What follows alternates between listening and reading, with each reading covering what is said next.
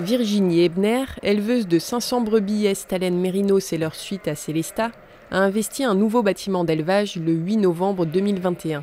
Une date anniversaire malheureuse, puisque le 8 novembre 2020, le bâtiment précédent était détruit par un incendie. Cet investissement conséquent, précipité par la situation d'urgence, était plutôt envisagé dans une dizaine d'années. Non, mais tout le monde était conscient comme quoi il y avait un manque. Je veux dire, on a fait l'annulage dernier sous chapiteau, ce qui était très compliqué. On a eu plus de pertes que ce qui est prévu. Donc pour que, l'exploitation puisse continuer, il fallait un bâtiment euh, à tout prix avant l'hiver pour ne pas revivre la même scène que l'année dernière. L'assurance a pris en charge le chapiteau que jusqu'à fin septembre. Donc de toute façon, pour l'hiver, il fallait quelque chose. Donc tout le monde en était conscient, que ce soit à la mairie, à la chambre et les différents constructeurs. Bah, C'était aussi une des conditions quand j'ai signé les devis que à telle date le bâtiment soit livré. Quoi. Cette année 2020 restera gravée dans la mémoire de Virginie, qui ne pensait pas reprendre la ferme de sa maman si vite. Alors qu'elle cumulait son emploi de contrôleur laitier et les travaux sur la ferme depuis 2016, la santé de sa maman l'a incité à s'installer au 1er janvier 2020. Bah, je me suis installée le 1er janvier 2020. On a accueilli les jumeaux au 18 mai 2020. On est rentré dans la maison euh, mi-juin 2020. On est, on s'est mariés le 5 septembre. Il y a eu l'incendie le 8 novembre et après, je crois qu'on est pas mal. Ça suffit. Après deux visites d'exploitation, Virginie a pris conseil auprès de la Chambre d'agriculture et de son constructeur de bâtiments. Elle a opté pour un bâtiment large, lumineux, avec possibilité de l'ouvrir sur les côtés. Ses objectifs Pouvoir y travailler seul le plus possible en conduisant ou manipulant les bêtes sans contrainte. Bah, c'est un bâtiment de 60 mètres de long par 28 de large avec un haut vent de 4 mètres pour ranger tout le matériel de fenaison. Euh, en bardage bois, poteau ferraille, euh, avec des brise-vents sur les côtés parce que comme moi j'ai des animaux à l'intérieur en été pour pouvoir permettre une meilleure aération. Après, comme dit, on le testera l'été prochain. Je ne sais pas encore comment ça va se passer. Et autrement, le sol est entièrement bétonné parce que j'avais des problèmes de trous d'eau sur l'ancien bâtiment et qu'on a dû relever le bâtiment de 1 mètre par rapport au PPRI de Lille et du Guizen. Et du coup, pour euh, être sûr qu'on n'ait pas de problème au moment de sortir le fumier, euh, on a tout bétonné. Voilà. Après, il y a capacité ouais, de 400 brebis avec jusqu'à 800 agneaux, parc de tri, couloir intérieur pour pouvoir tout déplacer toute seule, euh, nurserie, bureau et je crois que j'ai fait le tour. Bah là, il y a juste les barres à modifier parce que ça ne correspond pas tout à fait à comme on l'avait imaginé. Donc pour faciliter que, les brebis arrivent mieux à manger, on va juste les déplacer d'un côté du poteau sur l'autre côté. Après, il y a toute la partie par de tri à fixer encore. Et autrement, le reste est plus ou moins opérationnel, je pense. On est pas mal. C'est sûr que ça change surtout par rapport à l'année dernière, ça peut être que mieux.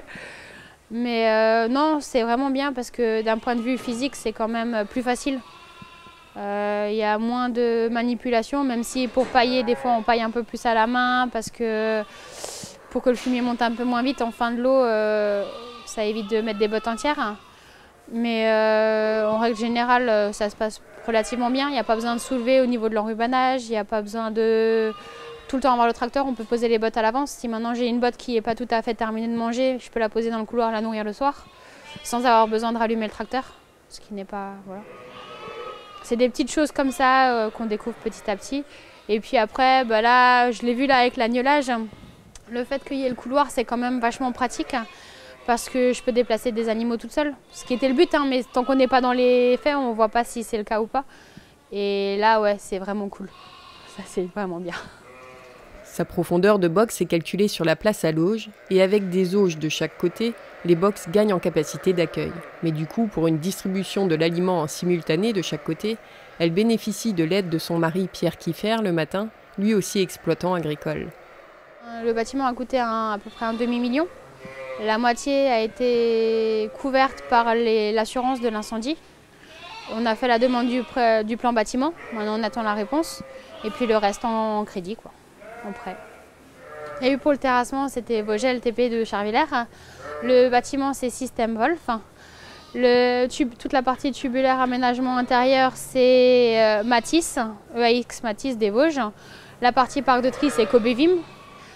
Euh, le béton, c'est entreprise Fritz, Fritz de Trimbaroval. Les brisevents, c'est Agrotel. Ensuite, la partie électricité, c'est Blumelec de Sundouze. L'eau, c'est Adolf Franz de Ilsenheim.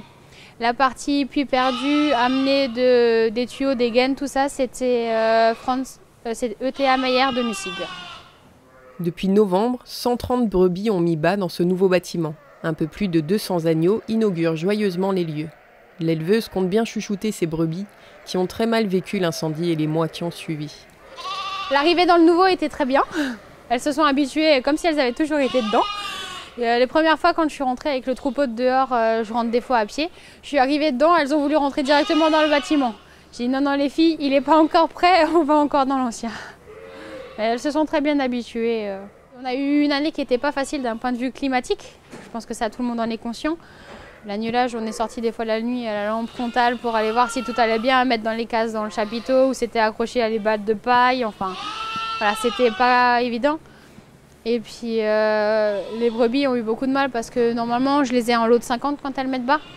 Et là elles étaient toutes ensemble, il y avait plus de 300 brebis ensemble.